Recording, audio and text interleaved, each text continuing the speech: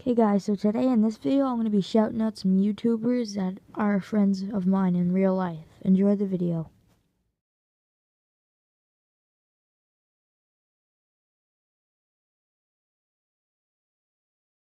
Okay guys, so this first guy right here, his name is Plush World. He has 13 subscribers and his name is Ethan. Go follow him.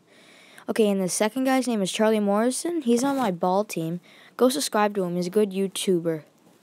And this next one is named Carter Tube. Carter McTavish.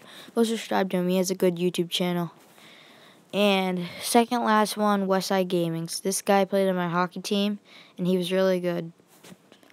And last one, No Scope Cena, which is Cohen Stayed.